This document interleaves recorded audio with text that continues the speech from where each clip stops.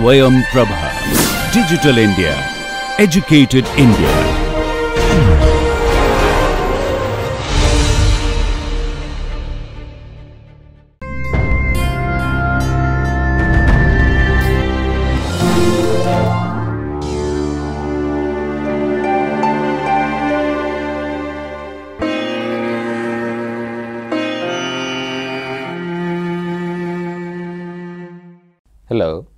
My name is Dr. Guru Prasad Rao. I am the professor of biochemistry in Melaka Manipal Medical College, Manipal Academy of Higher Education, Manipal.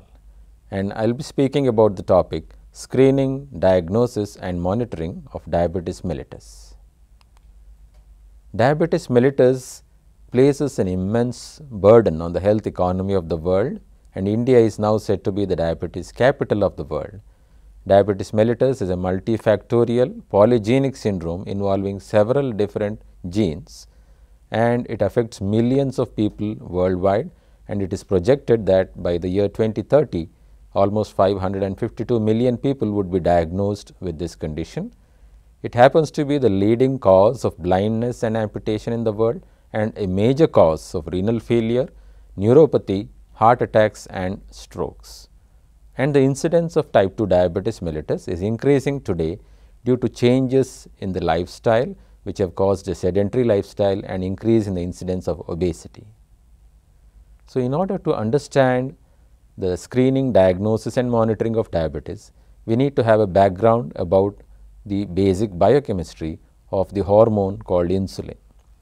So, insulin is a hormone secreted by the beta cells of the pancreas whenever the blood glucose levels rise after a meal. When the blood glucose levels increase, the glucose can enter into most cells and for example, if you consider this as a liver cell, once it enters, it will be oxidized to get energy through a pathway called glycolysis, which it converts glucose to pyruvate or excess glucose may be stored as a polysaccharide called glycogen for storage uh, to be used during fasting or the excess glucose can be converted to triacylglycerol which is also commonly known as fat. Insulin the hormone promotes all the steps involved in this metabolism by promoting glucose uptake or the oxidation of glucose or its conversion to glycogen or fat. So, in the fasting state, metabolic changes occur in the liver and adipose tissue in order to maintain the plasma glucose levels in the organism. For example, in the liver, the stored glycogen is converted to glucose or non-carbohydrates like pyruvate can be converted to glucose by gluconeogenesis, which then goes out into the blood. This is essential in order to keep the brain functioning during fasting by providing glucose as the sole fuel. Insulin inhibits these processes of glucose output by the liver because insulin is secreted in the well fed state during which time the liver need not produce glucose, but rather should store it. In the adipose tissue, whenever we are fasting, the stored fat or triacylglycerol is broken down by lipolysis into free fatty acids, which are released into blood picked up by various tissues including the liver which oxidize it to get energy and subsequently produce compounds called ketones or ketone bodies. These ketone bodies are sent out of the liver into the blood to be used as energy fuels during the fasting state. Insulin is a known inhibitor of lipolysis. So, its insulin plays a very important role in the prevention of formation of ketone bodies. So, with this background we can understand the clinical and biochemical findings in diabetes mellitus, how exactly a patient will present with. So, the initial presentations may be complaints of fatigue, weight loss and weakness, which can be understood to be due to the breakdown of muscle protein and breakdown of the adipose tissue fat as well as the inability of the muscles to use the glucose as energy fuel due to the lack of insulin. So, which results in high plasma glucose levels also called hyperglycemia and the excretion of glucose in urine. So, it is called glucosuria and characteristic clinical findings such as excessive urination known as polyuria, excessive thirst called polydipsia and excessive hunger polyphagia. These features are usually triggered by a brief illness such as a viral infection. And occasionally a diabetic patient may go into ketoacidosis due to the uncontrolled lipolysis resulting in uncontrolled production of ketone bodies due to the lack of insulin. So, we need to classify diabetes mellitus into various classes as prescribed by the professional bodies like the American Diabetes Association, which are helpful in understanding the type and deciding the mode of treatment. The first category is called type 1 diabetes, which was earlier known as insulin dependent diabetes mellitus or juvenile onset diabetes, but it is no longer called that way because it can be seen in adolescents and sometimes in adults also. So, it is due to an autoimmune destruction of the beta cells of the pancreas. The autoimmune response is when our immune system turns against our cells and produces antibodies to self antigens resulting in the loss of beta cells leading to absolute insulin deficiency. The second category is type 2 diabetes responsible for a majority of the cases of diabetes in the world which is often associated with obesity which results in insulin resistance or unresponsiveness of tissues like the liver or muscle to insulin. They do not adequately respond to insulin and also the beta cells of pancreas are unable to produce the requisite quantity of insulin, a condition known as dysfunctional beta cells. Besides these two major categories, there is one more important category seen during pregnancy, gestational diabetes mellitus, I will talk more about this subsequently. And besides these three categories, there are several monogenic causes for diabetes, neonatal diabetes, maturity onset diabetes of the young or diabetes secondary to other conditions like cystic fibrosis, inflammation of the pancreas or patients receiving drugs like corticosteroids or patients receiving treatment for HIV AIDS or post organ transplantation diabetes mellitus also has been reported. So, if we compare the two major categories of diabetes mellitus type 1 and type 2 listing the various characteristics, the age of onset for the type 1 diabetes is typically childhood or puberty and for type 2 diabetes is usually over the age of 35 even though these are not hard and fast rules. The nutritional status of a type 1 diabetes patient is usually malnourished whereas a type 2 diabetic patient is often obese. The prevalence of type 1 diabetes is about around 10 percent, whereas about 90 percent of the cases are due to the type 2 diabetes. The defect or deficiency in type 1 diabetes is beta cell destruction due to autoantibodies resulting in complete lack of insulin. In type 2 diabetes, it is insulin resistance and dysfunctional beta cells which do not produce the sufficient quantity of insulin and the treatment type 1 diabetic patients need insulin to stay alive, whereas type 2 diabetes can be managed by dietary modifications, exercise interventions, oral drugs and occasionally insulin also may be required. So, coming to the laboratory investigations in diabetes mellitus, we will make a list of the different tests which are done in the labs for diabetic patients. The first one is plasma glucose measurement, the second one is an oral glucose tolerance test. The third one is glycated hemoglobin test, urine glucose and ketones detection, microalbuminuria test. So, starting with the plasma glucose measurement. So, usually it is performed by a method using enzymes called glucose oxidase and peroxidase, which are employed in various automated analyzers used in the labs and also in handheld glucometers which are used by patients at home or in the hospital's bedside and normal levels of glucose in the fasting state. So, one test where the patient is asked to fast overnight for at least 10 hours and the plasma glucose is tested in the morning, it is called fasting plasma glucose and the normal range is expected to be 60 to 100 milligrams per deciliter. Another type of glucose test is when a patient is given a meal and 2 hours later plasma glucose is tested. It is called 2 hour postprandial plasma glucose. the normal range for which is 80 to 140 milligrams per deciliter. And if a test is done at any time of the day regardless of fasting, it is called random plasma glucose and the range for which is 60 to 140 milligrams per deciliter.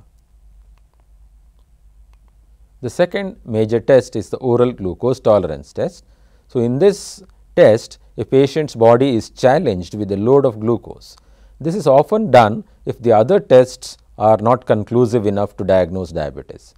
So, the patient is prepared for this test by being advised to take a good carbohydrate diet for the 3 days prior to the starting of the test and avoiding drugs which influence carbohydrate metabolism such as steroids or oral contraceptives for at least 2 days prior to the test and avoid strenuous exercise on the day before the test as well as during the test because all these factors may change the body's response to a glucose challenge.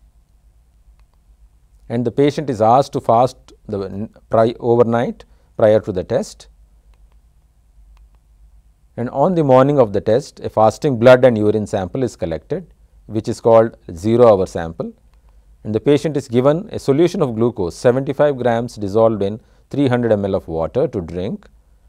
And blood and urine sample is collected at the end of 2 hours as per the recommendations of WHO which is the currently used version of this test.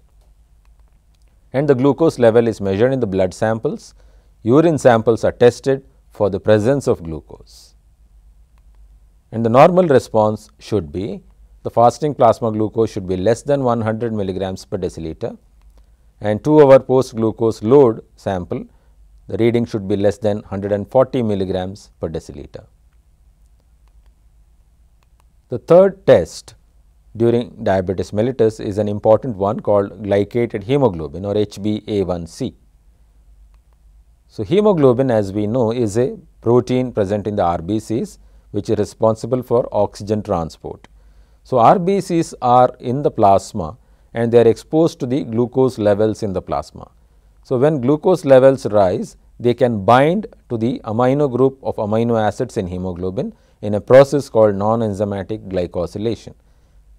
So, glucose bound to the N-terminal valine of the beta chains of hemoglobin converts hemoglobin into a species called HbA1c. So, once HbA1c is formed, it stays in the RBC till the end of the lifespan of the RBC which is typically 120 days and does not change.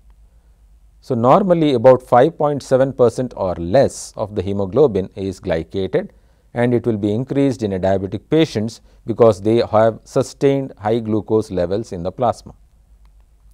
So, HbA1c test unlike plasma glucose is a measure of the average plasma glucose levels over the preceding 10 to 12 weeks.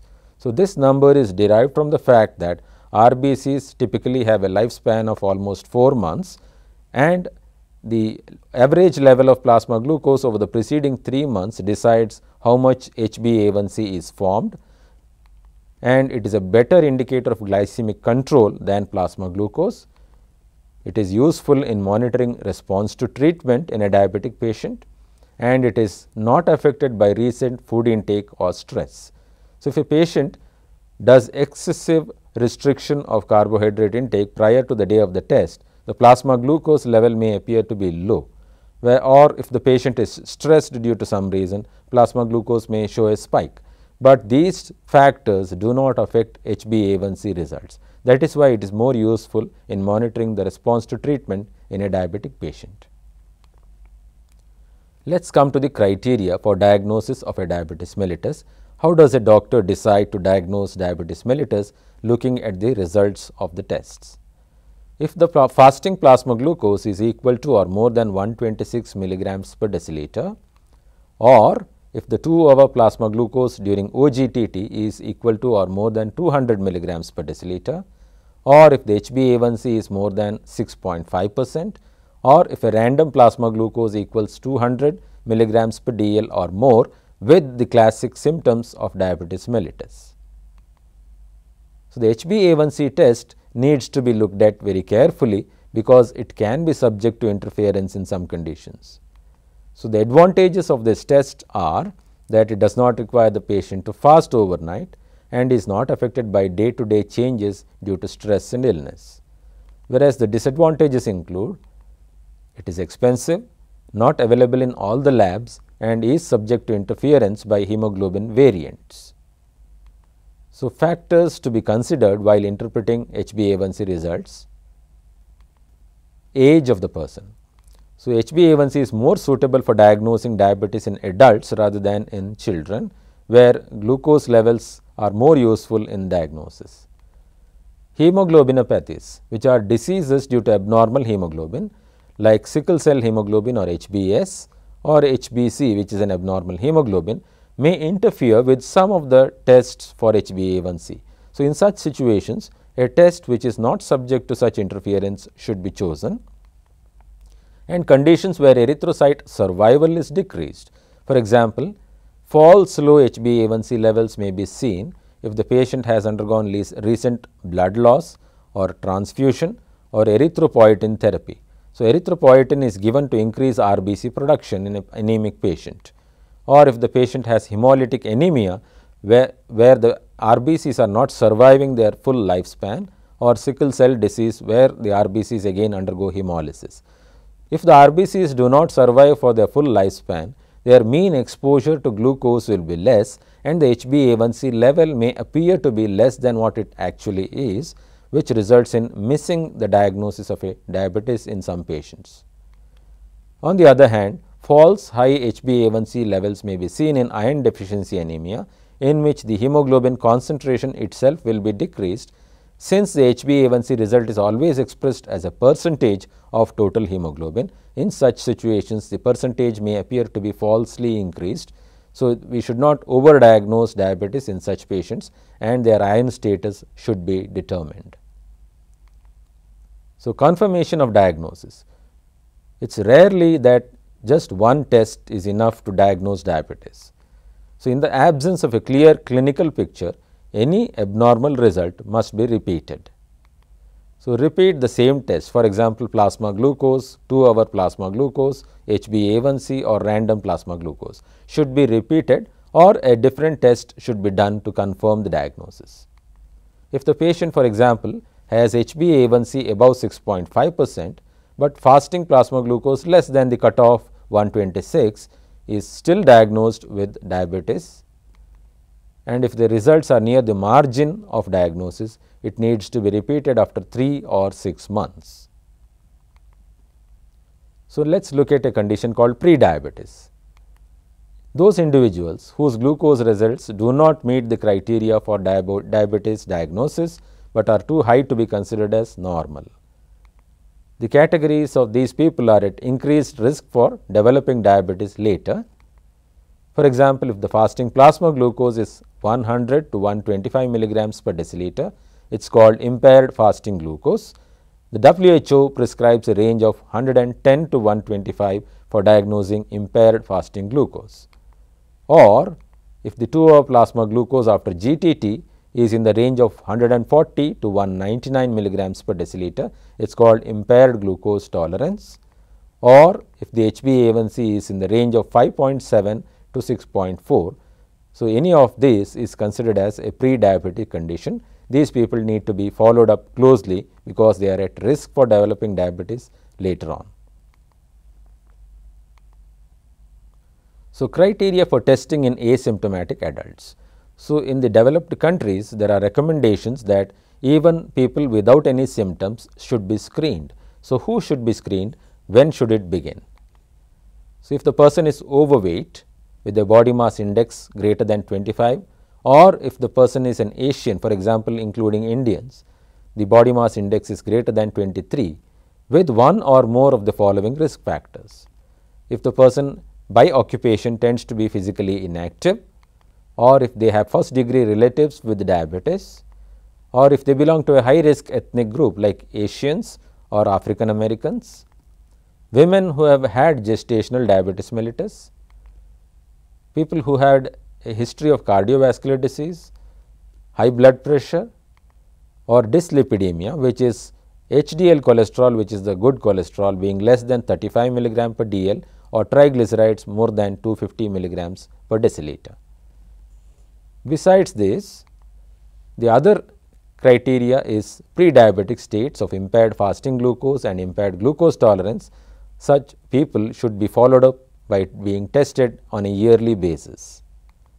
And in the absence of any of the above criteria, any person over the age of 45 should be tested and the repeated of the test should be done once in 3 years more frequently if needed.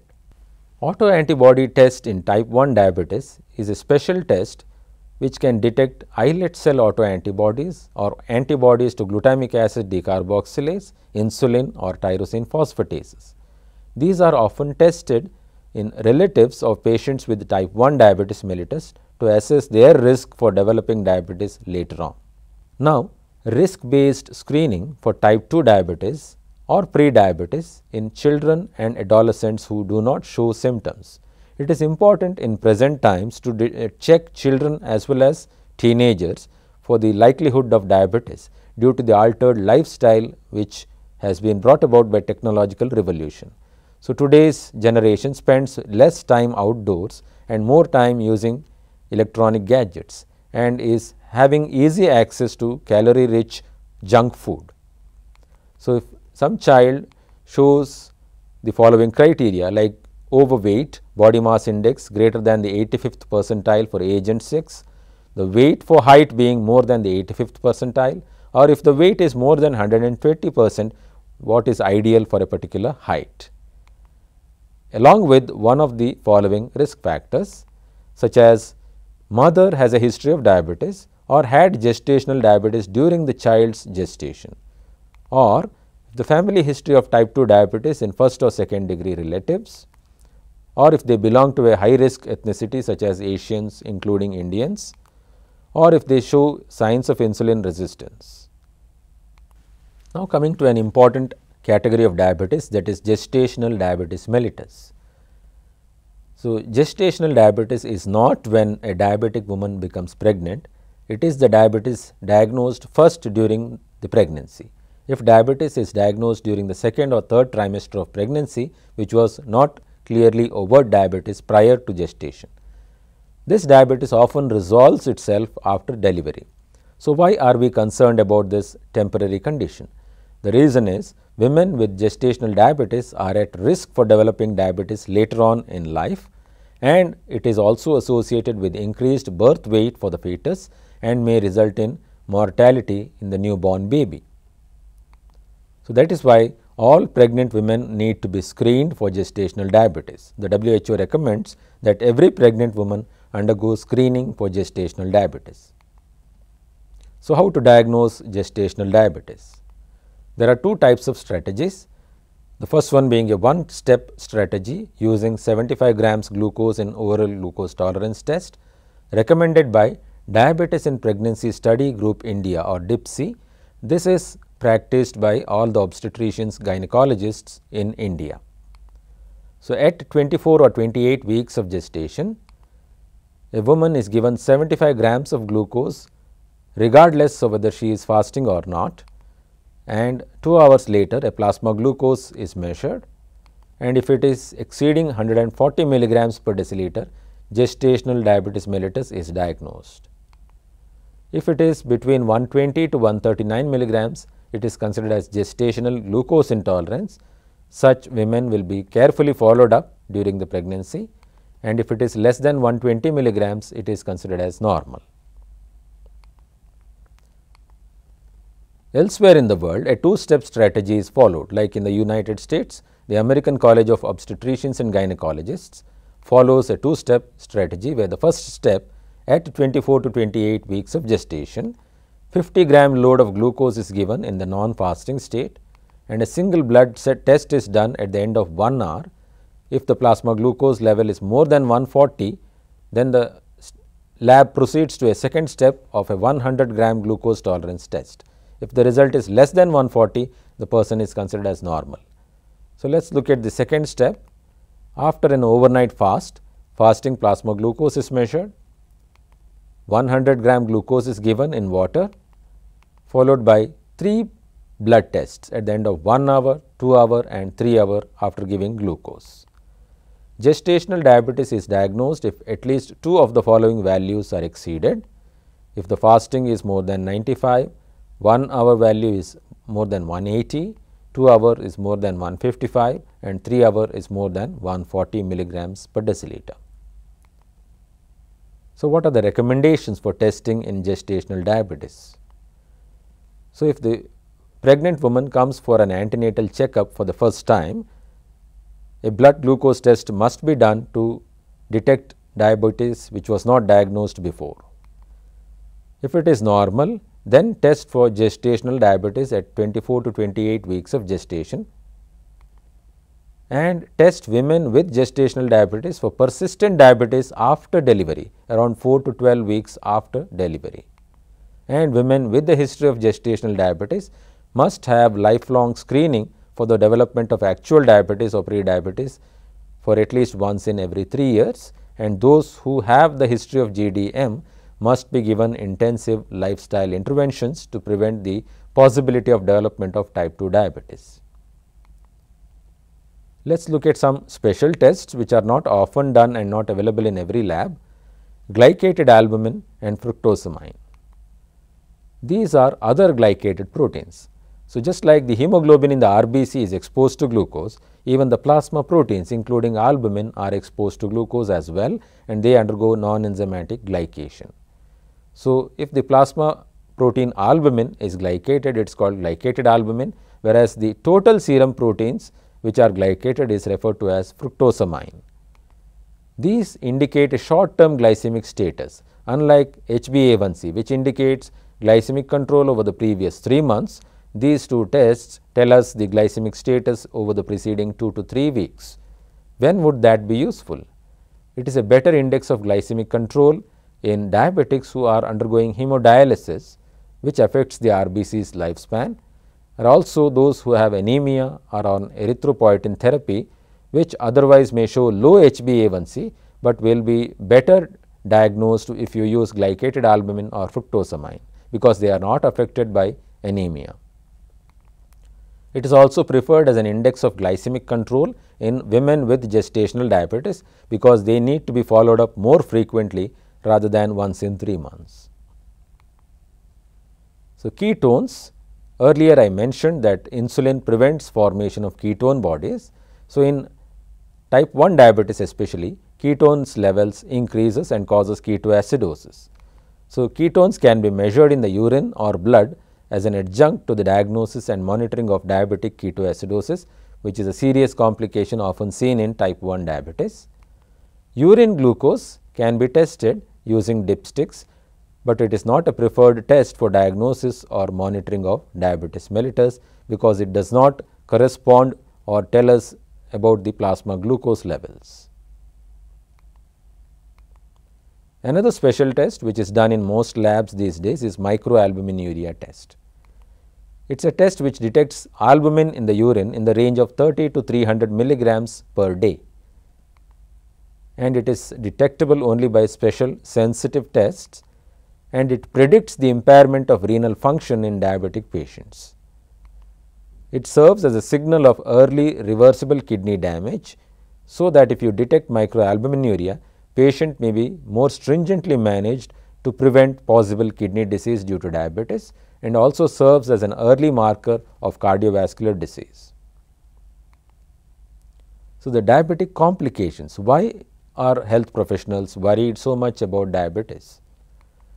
Diabetes can result in acute complications such as ketoacidosis or hyperosmolar coma, but more importantly the long term complications can be debilitating such as microvascular changes in the capillaries resulting in nephropathy or diabetic kidney disease which may lead to renal failure or retinopathy which may lead to blindness.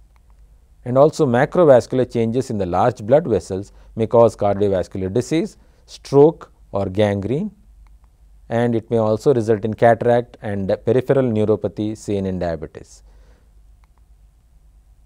The reason why long standing high plasma glucose levels may result in all these complications is because the sugars can react with the amino groups in proteins to form a linkage called Schiff base which may readjust to form a ketoamine linkage which eventually forms advanced glycation end products or AGEs.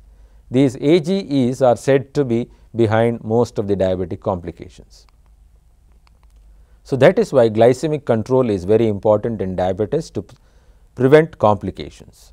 So, tighter glycemic control has been shown to reduce the risk of diabetic complications. So, HbA1c measurement should be repeated once in 3 months in a diabetic patient who does not have good glycemic control or not responding very well to the medicines. Whereas, if a patient is responding well and showing better glycemic control, it is recommended that HbA1c test be repeated once in 6 months and it happens to be the mainstay of assessment of glycemic control. But there is a need for specific biomarkers for early detection of individual complications, but at present none of the labs offer any specific biomarker to detect the presence of complications. However, there are certain tests which will help the physician determine the possibility of development of complications. So, they include a test for CRP or C-reactive protein which can be detected by a high sensitivity test. So, it is called HSCRP, a high sensitivity test for C-reactive protein, which is a protein produced by the liver and is a marker of inflammation. So, it predicts the development of type 2 diabetes mellitus according to some studies and is strongly associated with atherosclerosis in type 2 diabetes. If a diabetic patient shows high serum HSCRP, they need to be more stringently controlled to prevent the possibility of a heart attack. Serum AGEs or advanced glycation end products, some people have come up with tests based on ELISA technique to measure serum AGEs which reflect the severity of coronary arteriosclerosis in type 2 diabetic patients and they positively correlate with long term glycemic control as measured by HbA1c. Pentosidine is another advanced glycation end product measured by HPLC technique correlates with hypertension and ischemic heart disease in diabetic patients, but none of these tests are currently in laboratory use. So, summarizing the talk, for screening a population for diabetes, all those above the age of 45 should be screened and if they are found to be non-diabetic, the screening should be repeated once in 3 years. People with risk factors such as obesity, hypertension or dyslipidemia should be screened more often. People who are diagnosed with pre-diabetes should be tested on a yearly basis Overweight children or adolescents with risk factors should be screened. Pregnant women should be screened for gestational diabetes. If they are found to be diabetic, must be treated and followed up on a yearly basis for the development of actual diabetes. Autoantibodies tests are special tests done in relatives or patients with type 1 diabetes to assess their risk for development of type 1 diabetes. As far as monitoring goes, HbA1c happens to be the mainstay of monitoring of glycemic control once in 3 months or 6 months and special tests like glycated albumin and fructosamine are done in those conditions where HbA1c may not be reliable. And blood and urine ketones are tested in the monitoring of diabetic ketoacidosis. So, at the end I have a few questions for practice. This is a case of a patient with sickle cell disease who is being screened for diabetes. His fasting plasma glucose is 157 milligrams per dl and HbA1c is 6.1 percent. Which of the following is the best approach to this patient in order to confirm or rule out diabetes mellitus? These are the options. A. Repeat the HbA1c test which showed up to be 6.1 percent. Repeat the fasting plasma glucose conduct an oral glucose tolerance test or detect urine glucose. And the right answer is B, repeat the fasting plasma glucose. The fasting plasma glucose if you see in this question is above the diagnostic cutoff, but I, like I mentioned earlier every test should be repeated for confirmation. Whereas, the HbA1c in this patient is not above the diagnostic cutoff plus, uh, plus we must keep in mind that the patient is having sickle cell disease which I mentioned that it will interfere with the HbA1c test therefore, is not reliable and should not be used for diagnosis. and OGTT and urine glucose are not necessary to be done in this case. Another question, a patient has fasting plasma glucose 118 milligrams per dl, 2 hour plasma glucose in an OGTT is 139 milligrams per dl and A1C is 6 percent. Which of the following is the status of this patient? Impaired fasting glucose, impaired glucose tolerance or diabetes mellitus. And the right answer is impaired fasting glucose because fasting glucose should be less than 100 whereas 139 2 hour plasma glucose is within the normal range and HbA1c at 6 percent does not tell us that it is diabetes. So, the right answer is impaired fasting glucose. The third question, a known diabetic patient who is not able to control his glycemic status very well needs to be advised when to come for the next test or follow up. Which of the following time durations is most ideal for his next HbA1c test? after 1 month, after 3 months, after 6 months or after 1 year. And the right answer is after 3 months, because HbA1c tells us about the glycemic status over the preceding 3 months and in patients who are not well controlled, they need to be tested once in 3 months, whereas if he was well controlled could have been tested after 6 months. Thank you very much.